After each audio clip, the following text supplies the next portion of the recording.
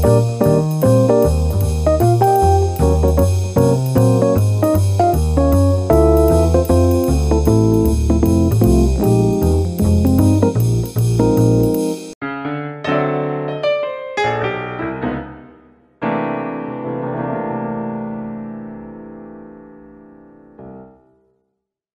はい、ということで、チャンギにタクシーで来ました。着いて市内に行くときは夜だったんで、えっと、30ドル弱したんですけど、今ホテルから来たらね、22ドルぐらいで来れました。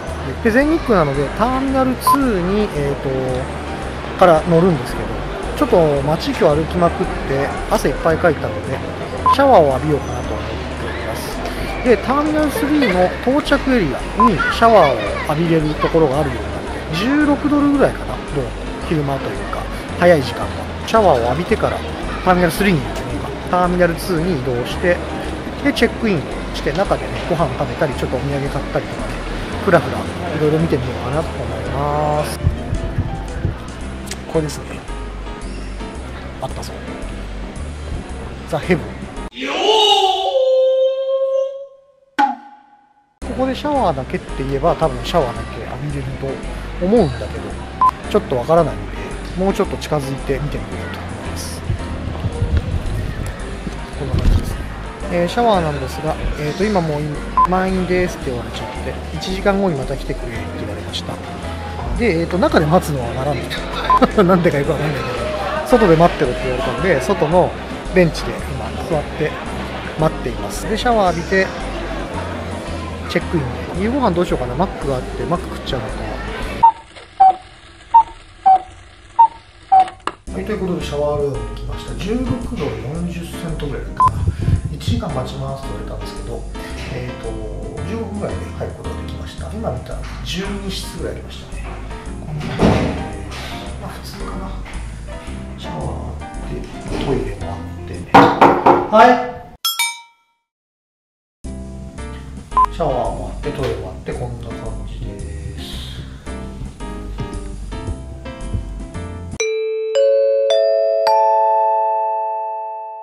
はいということでシャワー浴び終わって気持ちよくなりました。さっぱりしました。ちょっと日本に帰るのでちょっとねあったかいやつとかしちゃったんですけど、えー、と今こっちの時間で9時ちょい前ぐらいなんだけどやっぱほどほど混んでるな。来た時は深夜だったんでほとんど人いなかった。んですけどでまずはターミナル3にいるのでターミナル2に移動します。久しぶりに乗るスカイトレイン。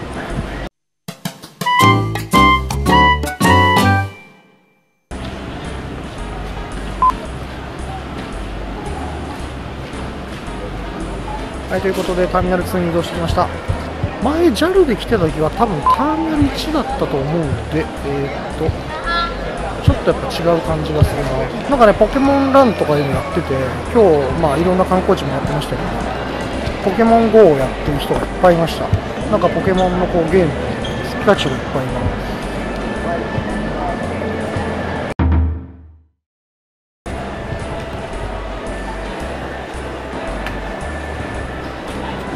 はいチェックインが終わったのでちょっとですねレストランに行ってご飯を食べたりしてから中に入ろうかなと思います。でよく分かんなかったのはなんでか分かんないんですけど羽田、えーと、沖縄のチケットももう発見されてしまいました。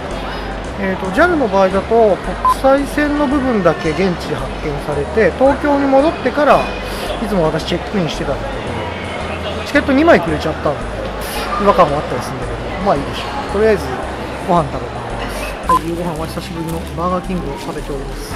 どれかなタイに10月に1回以来かな、多分。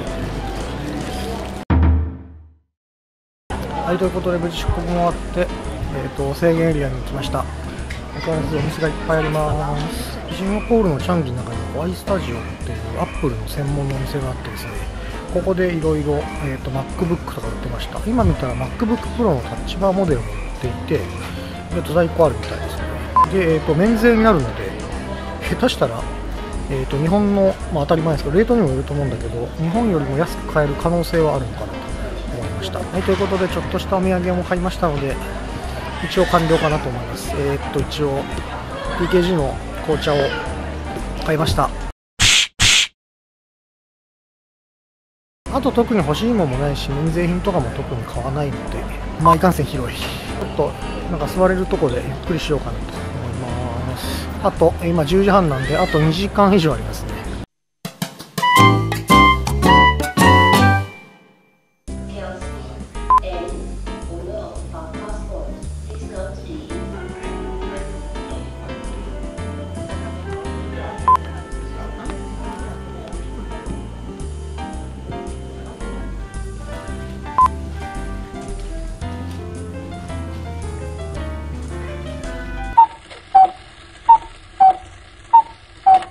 Tokyo Narita Airport.